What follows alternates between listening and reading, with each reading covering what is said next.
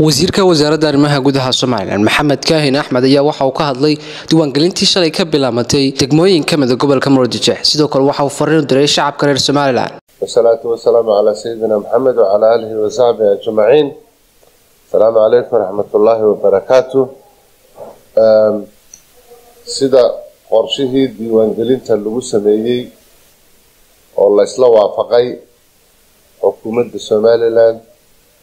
komishanka doorashooyinka axsaabta qaranka inay qabsoonto diiwaangelintii ka horeynaysay doorashooyinka golaha degaanka iyo golaha wakiilada. Shalayto waxaa si rasmiga uga furmay gobollada ay diiwaangelintu ka baxayso ee ka dhacayso oo ah dhammaan gobolka awdal gobolka gabiley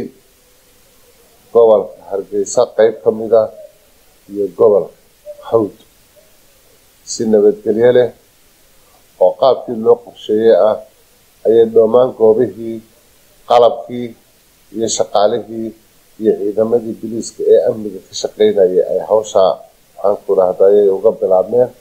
maantana si fiican bay uga socotaa dabcan sida uu qorayay xeerka doorashooyinku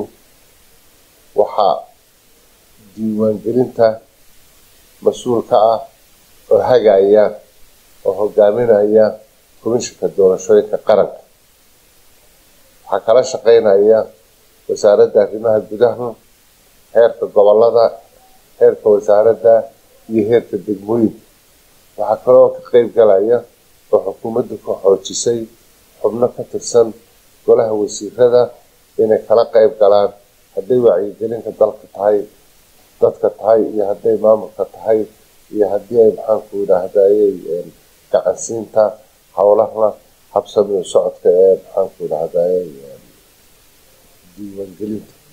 ayaa ka qeyb galaya. Waxaa qeybta ugu weyno laxaadna ka qaadanaya ciidamada booliiska oo mas'uul ka noqon ka ah arrimaha maxaanku idhahda ayay nabad nabadgelyada. Waxaan rajeyneynaa inay goboladan si fiican uga dhamaystiranto iyadoo la raacayo nidaamka iyo qorshaha iyo qaabka loo dejiyey. Waxaan ku boogaadinayaa dhammaan dadweynaha reer somalilan haddii ay tahay gobollada imika uu ka socday iyo haddii ay tahay gobollada ay tegi doonaan diiwaangelintu intaba in laysu diyaariyo loo diyaar garoobo in diiwaangelinta si nabadgelyo leh ay dadweynuhu uga maxaanku idhaahdayay uga qeyb qaataan. Sababtu waxa weeye waa awoodda dadweynaha ee ka qeybgalka nidaamka dowladda cidda wakiilka uga noqonaysa. Waxay dooranayaan wakiiladooda golayaasha deegaanka ee degmooyinka. Waxay kaloo dooranayaan golayaasha baarlamaanka golaha baarlamaanka oo heerka qaran ah. Sidaa dadkeed darteed qofka waxaa looga baahan yahay inuu qarka kaadhka codbixinta si u bixiyo codkiisa doorashada